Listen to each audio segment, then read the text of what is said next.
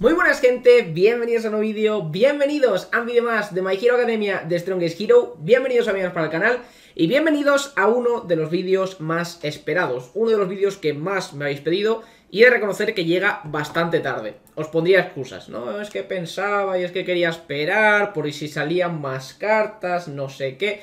No salen más cartas, es mentira, es todo un invento del gobierno para mantenernos controlados. No sale nada, de verdad, no sale nada, no sale absolutamente nada. Sin embargo, pues bueno, a pesar de que llega tarde, llega. Y eso es lo importante. Tendremos una tier list de las cartas 5 estrellas, una tier list de las cartas 6 estrellas y en cuanto terminemos con los personajes de la collab, también tendremos una tier list actualizada de todos los personajes en los distintos modos de juego de My Hero Academia de Strongest Hero. Una tier list para arena, una tier list para COP eh, y una tier list con COP me refiero a PvE para básicamente eh, Change Assessment, ¿no?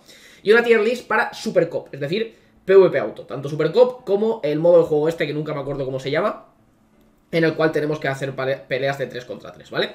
Así que vamos al lío, vamos a hacer esta tier list, espero que os guste, esta es mi tier list, no significa que sea la única, no significa que sea la, mejor, pero espero que os guste y si no estáis de acuerdo conmigo, lo único que tenéis que hacer es dejármelo en los comentarios, como siempre de forma educada, que no cuesta absolutamente nada. Así que ya sabéis, tenéis ahí abajo la sección de comentarios para opinar y vamos a hacer una pequeña review de absolutamente todas las cartas, porque creo que no tiene ningún tipo de gracia que yo coloque las cartas en cada uno de los tiers y bueno, ni siquiera os explique qué hace cada una de ellas o por qué las he puesto ahí. Teniendo en cuenta que hay muy poquitas cartas, que esto es algo que realmente me llama la atención, hay muy pocas cartas de 5 estrellas, vamos a aprovechar y vamos a explayarnos un poquito para explicar qué hace cada una de ellas. También, importante, a la hora de explicar qué hace cada una de ellas, voy a intentar fijarme sobre todo en lo que hace su valor más alto cuando esté en el Breakthrough máximo, es decir, en Breakthrough 2. ¿Por qué hago esto? Básicamente porque la idea sería subir todas estas cartas al tope, excepto, podríamos decir, las de los tiers más bajos. Esto ya es decisión de cada uno, yo voy a cada uno que haga lo que quiera, ya sabéis que existe el Fuse, y si fusionamos cartas de 5 estrellas, tenemos posibilidades, tenemos chances de que nos salgan cartas de 6 estrellas, que eso obviamente por norma general suelen ser mejores. Así que, de nuevo, esto será finalmente decisión vuestra. Sin embargo, espero que os guste este vídeo y espero que os sirva. Así que he preparado esta pequeña tier list en la cual tenemos las 10 cartas 5 estrellas del jueguito. Y vamos a empezar obviamente de abajo para arriba. Vamos a ir colocándolas absolutamente todas. Y yo creo que el tier de basura, para quien sepa leer, yo creo que está clarísimo. El tier de basura se lo va a llevar el pobre de Anima, que sinceramente es una de las peores cartas del juego, por no decir la peor, para mí mucho peor que algunas cartas incluso de 4 estrellas. Cosa que me duele, sinceramente, porque me gusta mucho la idea de la carta, pero el problema es que no escala una auténtica basura. ¿Esto quiere decir que no sirve para nada? No, no es que no sirva para nada, sino que el problema es que realmente no es tan potente como creo que debería ser. Y es que vamos a revisar qué es lo que hace Anima. Después de ser atacado, el carácter, el carácter, perdón, el personaje entra en estado de Anima, incrementando el ataque de las unidades eh, amistosas en un 2,5% y la defensa en otro 2,5% durante 15 segundos. A priori no tiene ningún tipo de cooldown, con lo cual en el caso de que este personaje sea atacado siempre vamos a estar bufando a nuestros aliados, pero el porcentaje es muy bajo, sinceramente muy pero que muy bajo para justificar llevar esta carta. Incluso en el breakthrough máximo, que es el que estamos viendo por aquí, que obviamente también las estadísticas pues realmente son importantes, estamos viendo que el ataque se incrementa en un 5,5% y la defensa en un 5%. No lo veo justificable, de verdad, me parece muy pero que muy poquito. insisto que la idea me, parece una auténtica maravilla. Me recuerda muchísimo a una de las cartas EX que salieron recientemente, es que es básicamente la, una de las, bueno, la primera de la colaboración, que fue la carta activa de... Eh, Pino y de Rodi y Pino, la cual incrementa el daño de los aliados, pero es que aquí estáis viendo en un 28%, y con 15, no, ¿durante cuánto tiempo? Ni siquiera pone el, el tiempo en el que es que ni siquiera lo pone. ¿Cada cuánto es el cooldown? No lo pone, nevermind. Pero bueno, que es relativamente parecida. Y sí que es cierto que obviamente una carta EX, por norma general, tiene que superar en estadísticas a una carta 5 estrellas. Pero es que, de verdad, las comparaciones son odiosas. Y me parece demasiado mediocre para lo que estamos. Para lo que podemos encontrar en este tipo de, activas y de, y de pasivas, vaya. Así que sin más, Anima se va al final del todo, sinceramente, me, da bastante tristeza porque, insisto, me, me, parece una carta bastante chula pero así se va a quedar. Pasamos directamente a solo para PvP. ¿Por qué? Porque basura realmente como tal no hay más que esa. Y ahora sí, para PvP nos viene bien. No lo llevaría bajo ningún concepto en otro tipo de stage. Ni siquiera si vas con un personaje support en el, en el, en el cooperativo, en la Chancy Assessment. No la llevaría bajo ningún concepto. Pero oye, para PvP auto no está del todo mal, ¿vale? Porque siempre que se la puedas poner a algún personaje que vaya a ser bastante tanky, que vaya a aguantar bastante, yo que sé, el, el, el Bakugo, perdón, el Bakugo, el, el Deku World Heroes Mission está bastante bien, personajes como Endeavor que aguantan bastante tiempo en el campo, oye, no son cartas que le vengan de todo mal, porque va a aguantar mucho tiempo en el campo y va a bufar mucho a tus aliados. Sin embargo, pues ya os digo que por poner alguna en el tier de basura tenía que ser esta. Pasamos con solo para PvP, ¿vale, gente? Y vamos a poner en este tier... Oye, ¿por qué no puedo mover las cartas? Ahora, gracias. Vamos a poner en este tier aquí a nuestro querido amigo... ¿Cómo se llamaba? No me acuerdo ni cómo se llama esta carta, para que os hagáis una idea. Moonfish, creo que se llamaba, creo que sí. Para que os hagáis una idea de lo, de lo poco que ha utilizado. Cuando un aliado muere, el personaje entra en un modo en el cual su ataque va a ser incrementado en un 18% y su defensa en un 7,5% durante 15 segundos. ¿Cuál es el problema de esto? Que dura muy poquito. Esto es algo que no vamos a poder aprovechar prácticamente nunca, pero obviamente eh, es un bufo bastante gordito y sobre todo cuando estamos en el, en el tier más alto, ¿no? En este caso, un 36%, 36,5% de hecho, por ciento de ataque y un 15% de defensa durante 15 segundos. Insisto, es muy poquito tiempo, pero en ese tiempo, si por lo que sea cuadran los astros y tus personajes empiezan a tirar sus habilidades, vas a hacer auténticos destrozos. Yo qué sé, esto se lo pones a una Uraraka y de repente tira la E y literalmente barre totalmente al equipo enemigo. Por eso me gusta mucho ¿Cuál es el problema? Que por desgracia tienen que alinearse mucho los astros para que esto funcione. Sin embargo, me parece que funciona muy bien y la idea me flipa. ¿Cuál es el problema? Que obviamente no es algo que podamos controlar. Y también, para que se active, tienen que morir aliados. Y eso nunca es una buena situación. Con lo cual, pues bueno, eh, por esta razón he decidido ponerla en, este, en esta parte del tier. Me gusta cómo funciona, pero eh, tiene quizá demasiadas pegas para, para considerarlo una carta realmente potente. Nos pasamos con la siguiente, que va a ser nada más y nada menos que el señor peludo. No puedo mover las cartas, ¿por qué no puedo mover las cartas?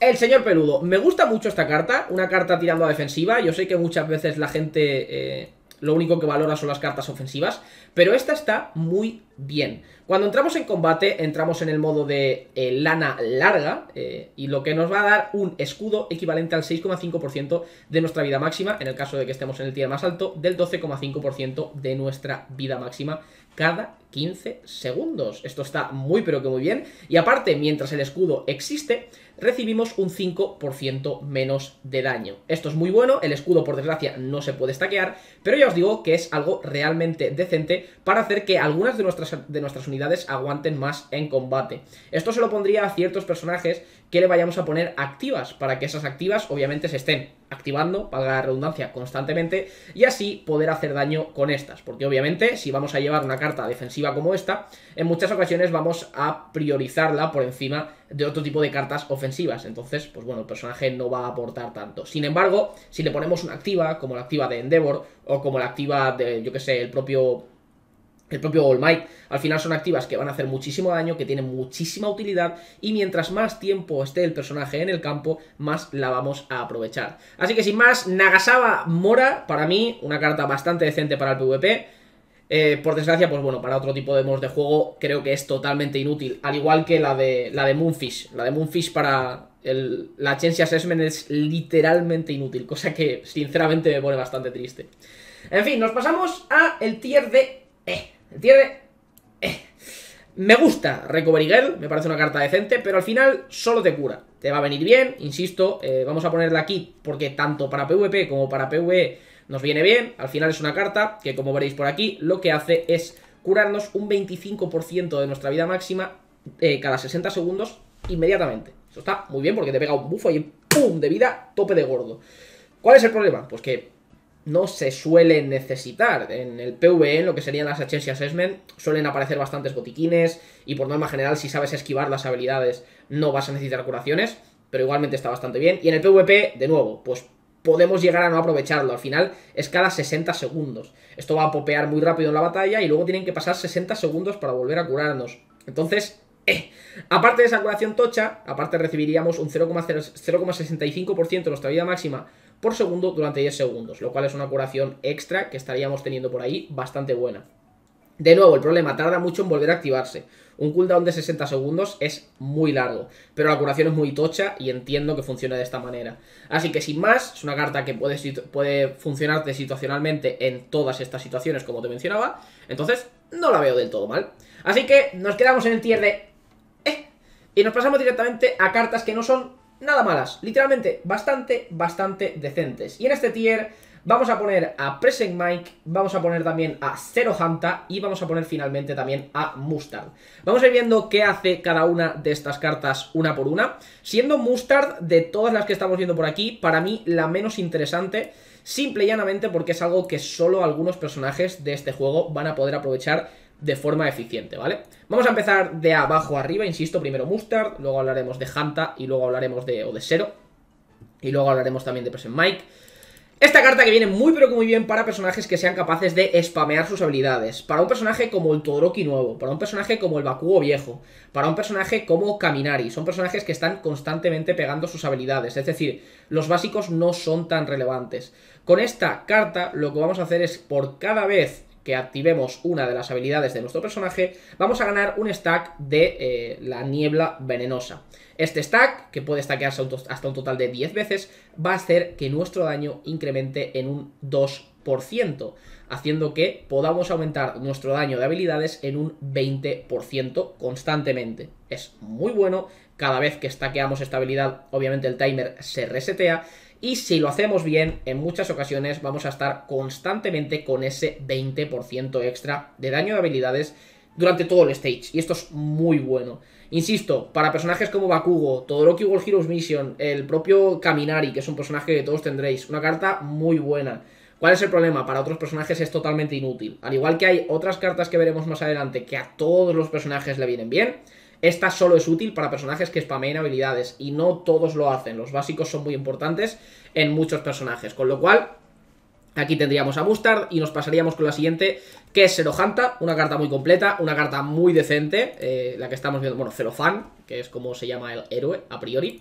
Y aquí lo que tendremos es que entraremos en el modo Tape Man, en el modo hombre cinta, eh, lo que haciendo que utilizando nuestra Special Skill, que es utilizando nuestra, nuestra habilidad especial, ¿no? La habilidad que, que normalmente tenemos una barrita de cada uno de nuestros personajes, incrementará nuestra velocidad de movimiento en un 10% y nuestro ataque en un 22,5% durante 5 segundos. El problema es que ese tiempo es muy pero que muy pequeñito, eh, sí que es cierto que lo vamos a poder popear como veis por aquí cada 20 segundos, lo cual está bastante bien, pero no me termina de convencer. Aparte, eh, los, nuestros ataques van a bajar la defensa del enemigo en un 21,5%. Me gusta la idea de que sea un poco lore friendly, es una especie de como que lo vamos a enraizar, entonces no se puede defender, va a recibir más daño, me gusta.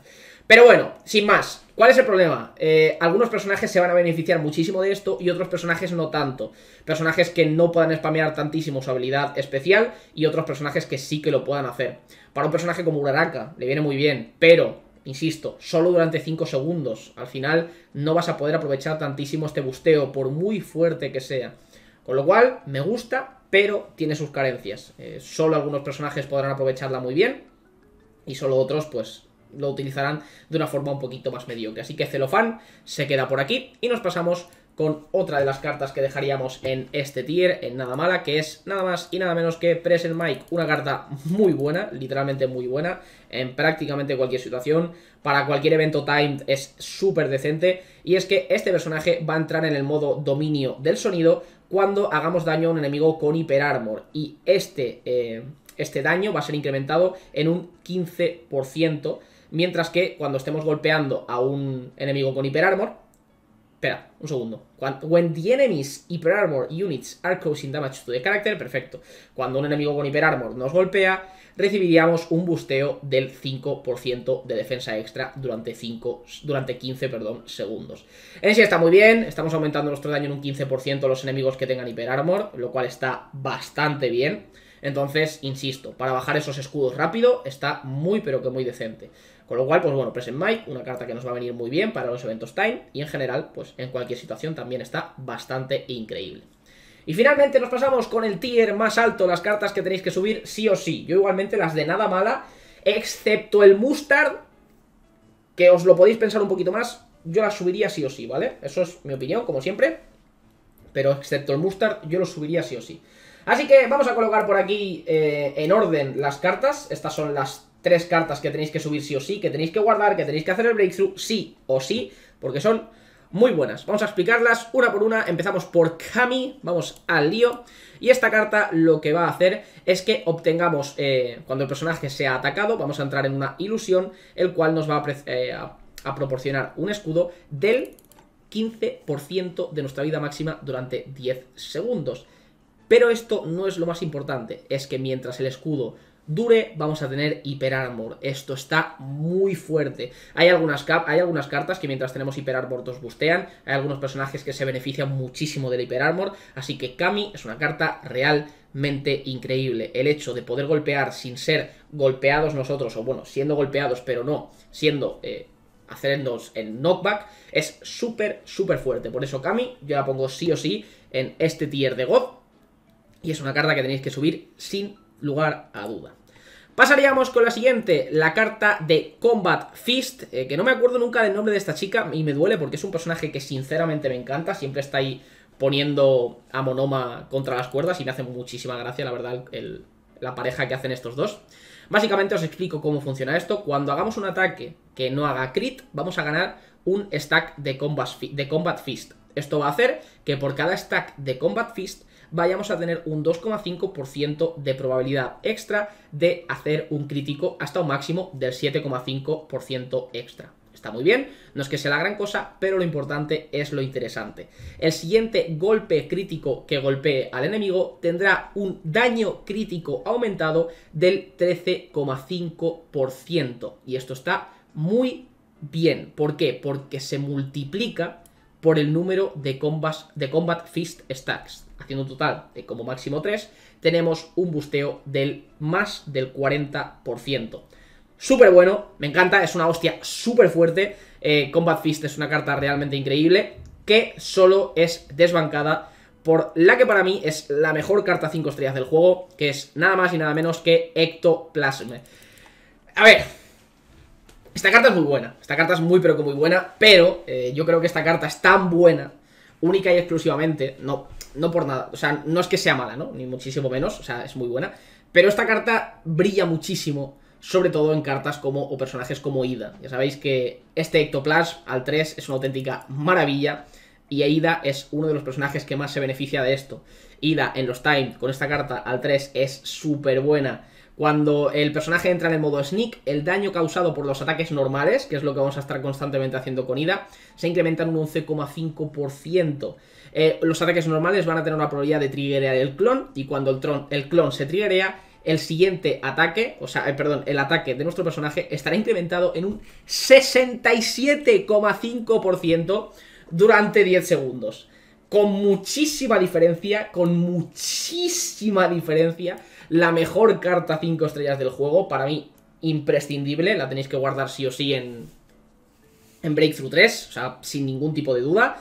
Y obviamente es algo que os voy a recomendar encarecidamente. Actualmente os voy a enseñar, de hecho, eh, cómo tengo yo eh, estas, estas cartas, porque yo tengo una extraña manía, no manía, sino que he de confesaros que yo voy a subirlas absolutamente todas. Yo he llegado a un punto, a pesar de que antes fusionaba muchas de estas cartas, yo he llegado a un punto en el que eh, quiero tenerlas todas, ¿vale?